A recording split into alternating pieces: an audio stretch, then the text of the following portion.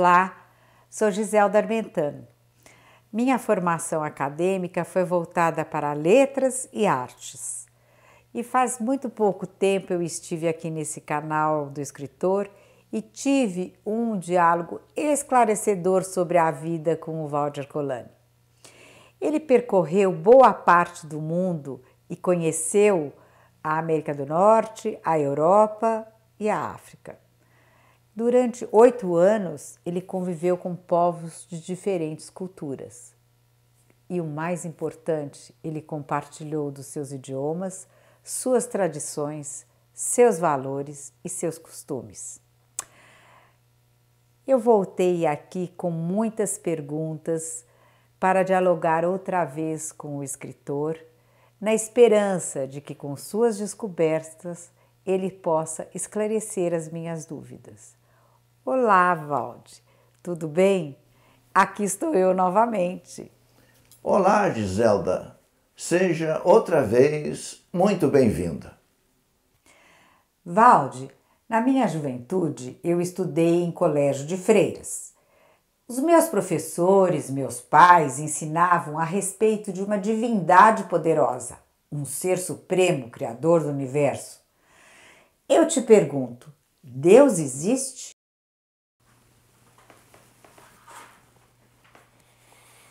É uma boa pergunta, Giselda. Platão, Pitágoras e outros grandes pensadores da antiguidade admitiam uma essência além das existências. Admitiam uma causa primeira que deu origem a todas as causas que conhecemos. Essa causa primeira recebeu vários nomes. O filósofo grego Aristóteles chamou de ato puro. O apóstolo João chamou de luz sem trevas. Os místicos e metafísicos chamaram de o absoluto. O filósofo grego Demócrito chamou de átomo. Você me pergunta se Deus existe. Eu acredito num agente causante, sem defeitos, atuante, que move o universo. Por essa razão, vamos chamar esse agente causante de Criador ou Pai Celestial. Valde, Cada nação tem um nome para designar Deus. O judaísmo tem Elohim ou Jeová. O Egito antigo tem Atom. Os assírios têm El. O Islã tem Alá. O hinduísmo tem Brahma. As nações de Angola e Congo têm Zambi.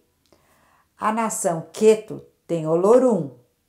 A nação Tupi tem Guaraci que você escolheu chamar de Criador ou Pai Celestial? Em primeiro lugar, é para tornar o nosso diálogo claro. Em segundo, porque o Criador é a primeira de todas as causas da qual as outras causas se originam. Assim como a semente dá origem à raiz que alimenta o tronco, do qual surgem ramos maiores, os quais se interligam com ramos menores e formam o todo. O Criador é também chamado de Pai Celestial porque ele colocou o seu gene espiritual nas suas criaturas. No plano concreto da razão, é intrinsecamente impossível negar a sua existência. O que é razão? Por que usar a razão para confirmar a existência do Criador? A razão é uma ferramenta de raciocínio lógico. Ela permite usar a dedução para chegar a uma conclusão a partir de uma proposição. A razão ensina que é impossível haver um efeito sem que haja uma causa. Por exemplo, a escultura não pode existir sem ação do escultor. A obra musical não pode existir sem ação do compositor. A casa não pode existir sem ação do arquiteto. Você, por exemplo, você não se criou a si mesma. Você é uma criatura criada. Logo, inevitavelmente, deve haver um agente causante, um criador responsável pela tua existência. Sabe, Valde, na minha infância eu imaginava Deus como uma forma de figura humana. Era um ancião que tinha barba branca e permanecia sentado numa nuvem. Segundo os meus pais, era um Deus egocêntrico, que via tudo e que castigava quem tinha mau comportamento. Provavelmente esse Deus era o Demiurgo, que foi inserido no Antigo Testamento pela influência de correntes filosófico-religiosas pagãs.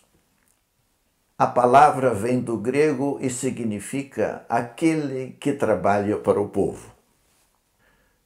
Demiurgo era um segundo Deus. No pensamento de Platão, ele seria o artesão que não criou o universo, mas deu forma à matéria. No Antigo Testamento, ele é descrito como justo, colérico, ciumento e vingativo. Como você sabe, Michel Mayor é um astrônomo e astrofísico suíço que foi ganhador do Prêmio Nobel da Física. Segundo ele, não há lugar para Deus no universo. Como é que você entende isso? Os cientistas, em geral, são ávidos de desvendar mistérios. Eles estudam moléculas, penetram na intimidade dos átomos e suas partículas. Contudo, o Criador não é uma realidade concreta mas uma realidade abstrata. Portanto, não é possível entender o abstrato pelo mesmo método que entendemos o concreto. O concreto é conhecido por meio da observação externa, por meio de uma metodologia onde as teorias e hipóteses são testadas. Para o físico Albert Einstein, somente a intuição é capaz de aproximar o homem do Criador e o universo. Explica então o que é a intuição. Poderíamos definir intuição como a voz silenciosa que vem do nosso ser mais profundo ela é capaz de perceber por instinto ou ler entre linhas. É capaz de deduzir, antever ou pressentir um fato independentemente de análise ou raciocínio. A intuição pode ser responsável pela elaboração de uma hipótese que poderá ser ou não ser comprovada. E de onde vem a intuição? E como ela se manifesta? Vamos supor que o nosso cérebro seja uma espécie de aparelho receptor e o universo uma espécie de estação transmissora que emite sem cessar em várias frequências energia vibratória de toda espécie. A intuição, então, agiria como uma espécie de antena do nosso eu maior, que recebe sinais do universo no seu íntimo e ajuda a tomar uma decisão que fará alterar o curso da jornada. Valde, Você comparou o universo a uma árvore cheia de ramos menores, interligados por outros ramos maiores, todos oriundos de um tronco que teve origem numa raiz causada por uma semente. Eu te pergunto, qual é a origem do universo? Pesquisadores do Centro de Astrofísica Harvard Smithsonian, nos Estados Unidos da América, afirmam ter obtido evidência de que o universo surgiu de uma semente de energia um bilhão de vezes menor do que o próton. A palavra próton vem do grego e significa primeiro. A primeira e maior das forças é o próton, que é a alma invisível do átomo e, portanto, de todo o universo. Segundo os pesquisadores, essa minúscula semente cósmica permanecia em estado latente como se estivesse chocando e, em seguida, começou a inchar e, numa ínfima fração de segundo, explodiu. Os prótons e nêutrons se fundiram e atraíram os elétrons, criando assim os átomos. Nuvens de poeira e gás se condensaram, criando os planetas e as estrelas. Sabe, Valde, até hoje ninguém me explicou de modo compreensível como é o Criador. Quais são os seus atributos? Como podemos imaginá-lo?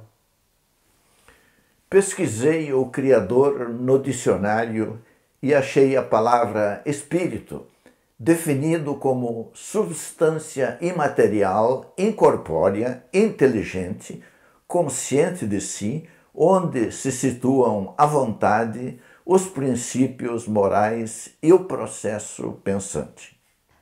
Valde, um assunto tem me deixado encucada desde a minha infância. No Gênesis, o primeiro livro da Bíblia, está escrito que o Criador fez o homem à sua imagem e semelhança. Como é que você explica isso? Para achar a semelhança, Giselda, precisamos recorrer a um postulado da física que diz: o que está na causa se manifesta no efeito.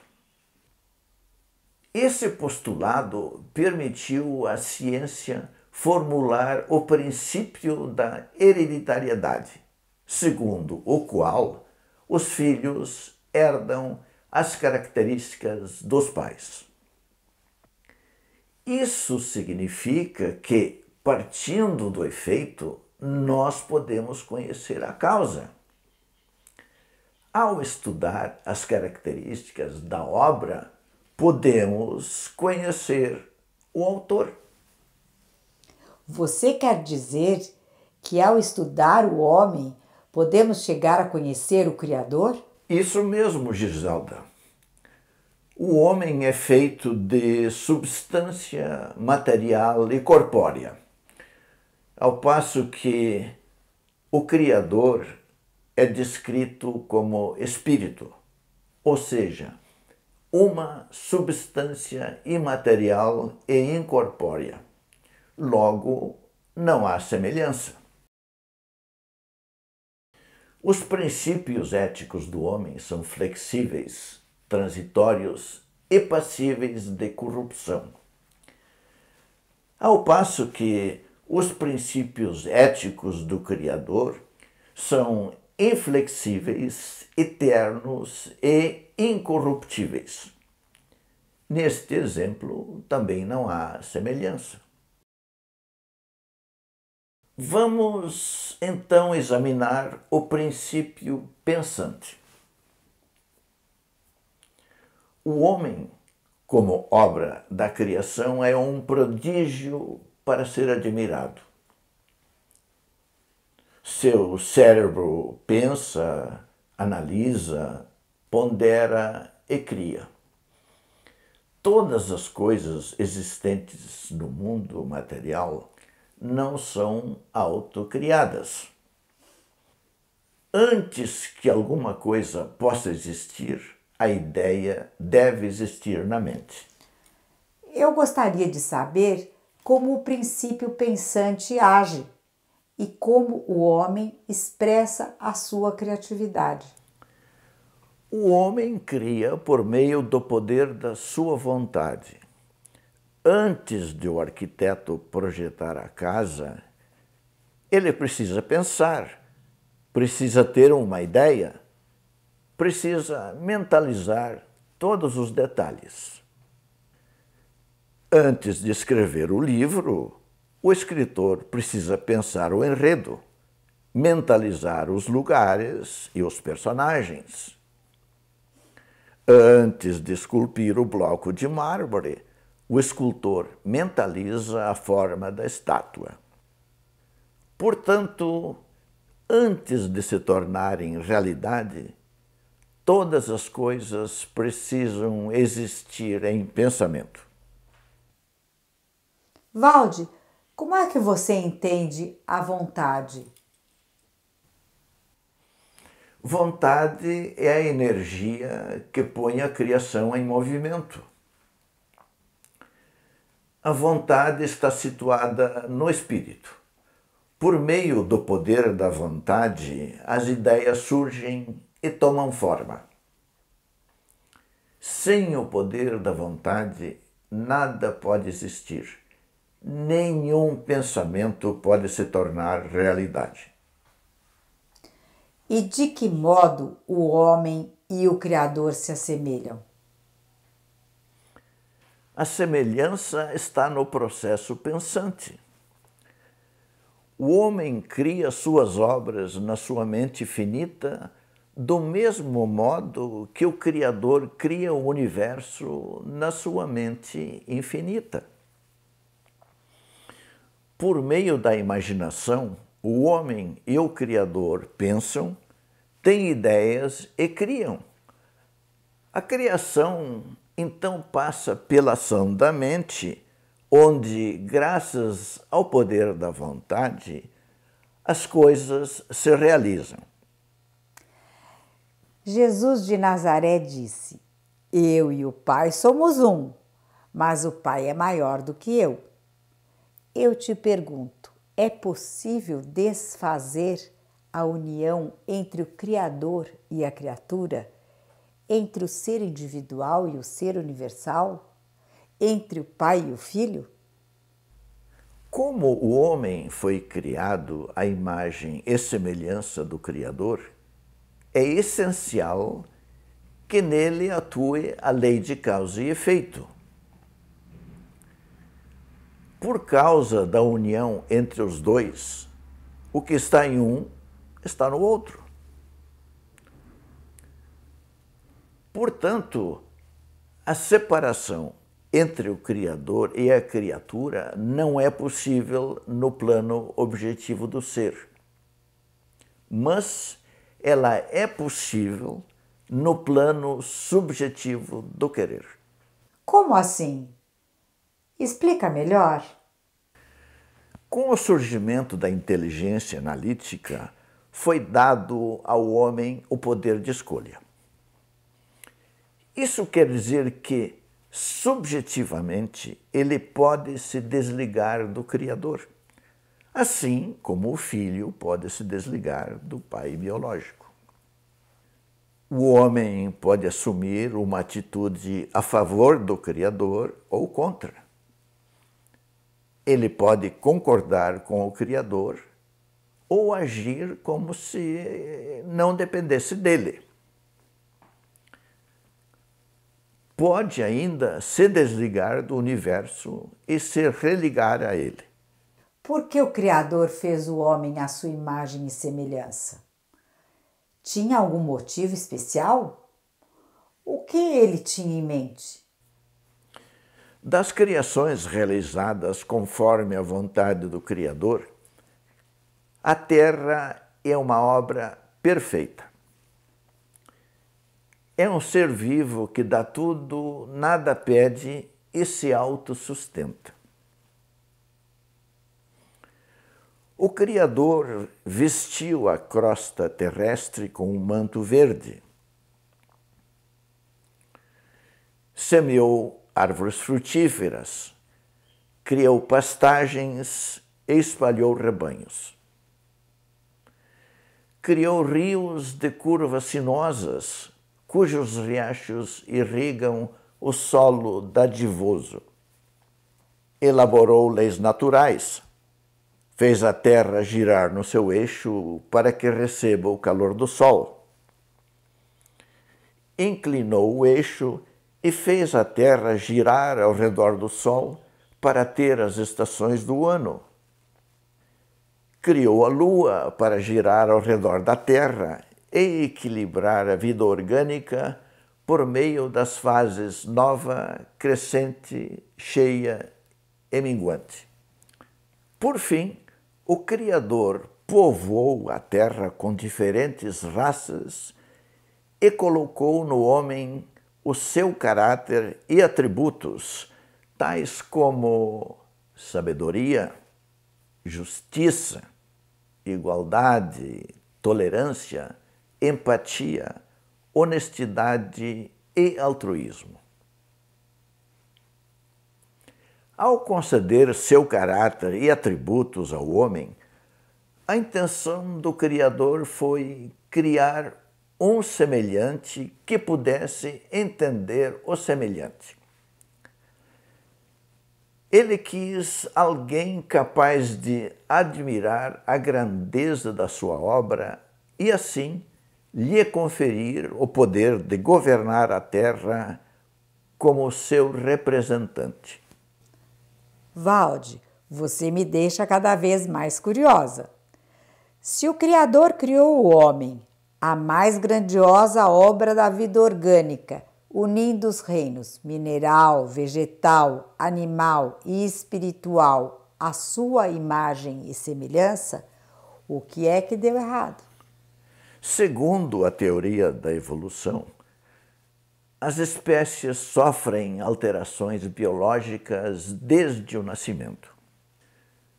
Ao longo do tempo, elas vão passando de estados simples e inferiores para estados complexos e superiores. O homem é o lugar de encontro entre a matéria e o espírito, logo, possui duas naturezas. Ao mesmo tempo, ele é caos e ordem, é egoísta e altruísta, é razão e loucura é selvagem e civilizado, é profano e divino. Durante o processo evolutivo, a consciência despertou e surgiu a inteligência. Começou então um novo fenômeno que é o homem-ego, a criatura pensante, consciente e livre. Nesse momento, ele proclamou sua ilusória autonomia do Criador e passou a agir como se nada tivesse com ele. A Bíblia fala sobre a queda do homem. Alguns acreditam que a queda explica a situação atual em que a humanidade se encontra. O que causou a queda? A causa da queda do homem foi sua morte espiritual. Ele colocou sua vontade nas coisas externas e se imaginou na vida terrestre. Como ser inteligente, colocou suas habilidades e reflexões a serviço do ego. Desde então, não parou de transgredir. Insiste em dominar a natureza externa, enquanto sua natureza interna permanece selvagem.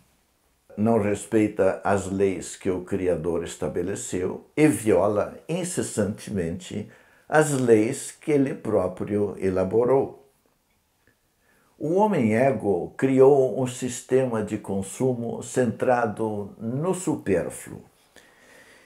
Em vez de assegurar o necessário para todos, o sistema produz injustiças, leva à destruição do solo, da vida nos mares, da cobertura vegetal, do aniquilamento das florestas, do aquecimento global e à destruição de si próprio. Valde, na parábola do filho pródigo, o filho retorna ao lar e o pai perdoa todas as faltas. Sendo um ser consciente e livre, o homem pode se reunir ao Criador e recuperar a imagem com a qual foi criado originalmente? Após a queda, o homem passou a ser portador de uma natureza corrupta que impossibilita a realização de qualquer bem espiritual. Ele traz consigo a imagem e semelhança do Criador, mas também traz as cicatrizes do transgressor. Mentalmente, moralmente, socialmente e fisicamente, ele mostra diariamente os efeitos. Para se aproximar do Criador, o homem deve possuir o necessário conhecimento de si deve ser bastante desenvolvido intelectualmente. Além disso, deve ser eticamente perfeito. Esse é o grande desafio. Procurar o inimigo dentro de si é assustador. Ninguém se sente confortável quando vê no espelho da consciência o pior de si mesmo.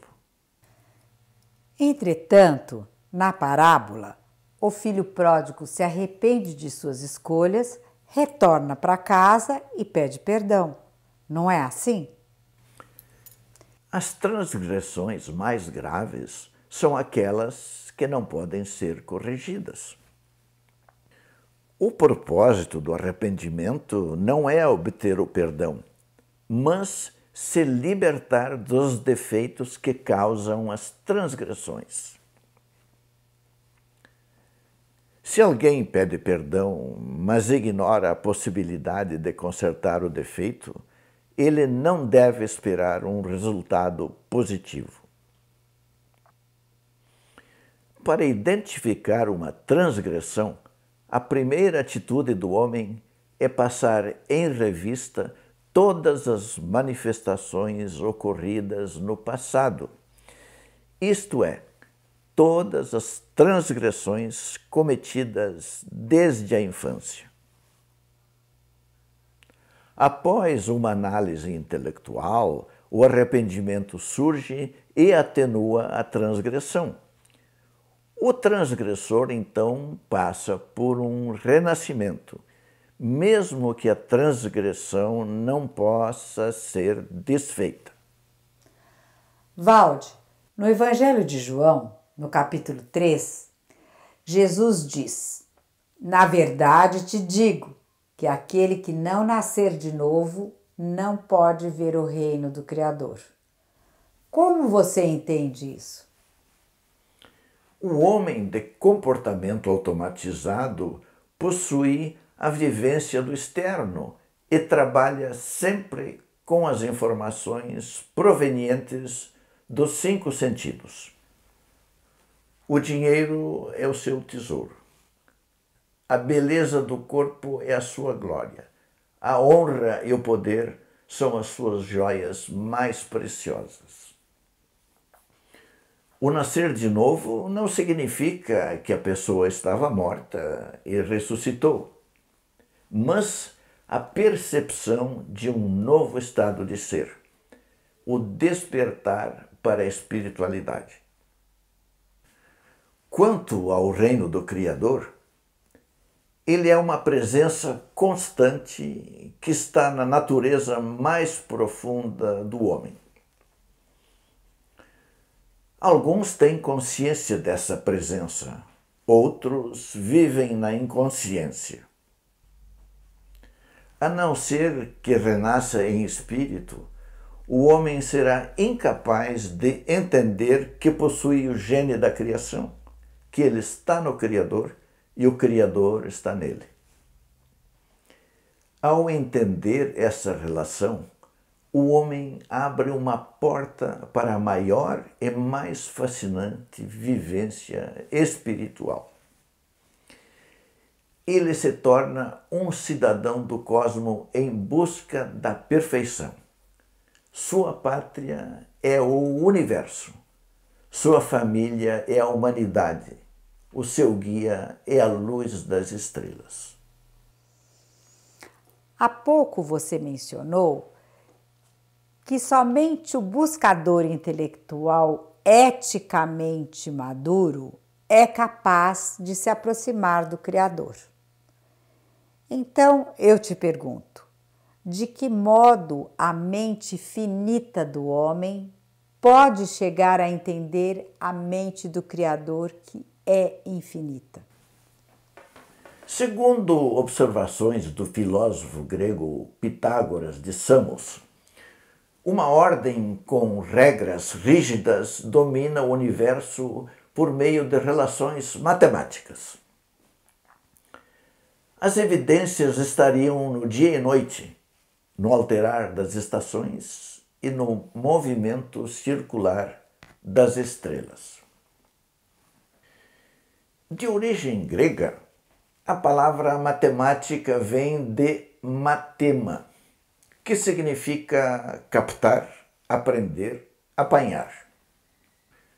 Portanto, a matemática não é uma construção mental do homem, mas a captação de leis naturais já existentes. Essa visão iluminou a imaginação de grandes mentes como Albert Einstein e Stephen Hawking, que descreveram a ciência como um esforço para decifrar a mente do Criador e entender as leis que governam suas obras. Sabemos que a evolução espiritual, quando ela ocorre, é lenta e gradual. Algumas pessoas alcançam um grau de perfeição maior do que as outras, mas, de um modo geral, para a grande maioria, a mente do Criador permanece um mistério. Valde, para encerrar o nosso diálogo, eu tenho cinco perguntas para te fazer. Primeira, sabendo que o Criador existe, aonde buscá-lo? Sabendo que ele é espírito, como ele se revela? Como posso reconhecê-lo?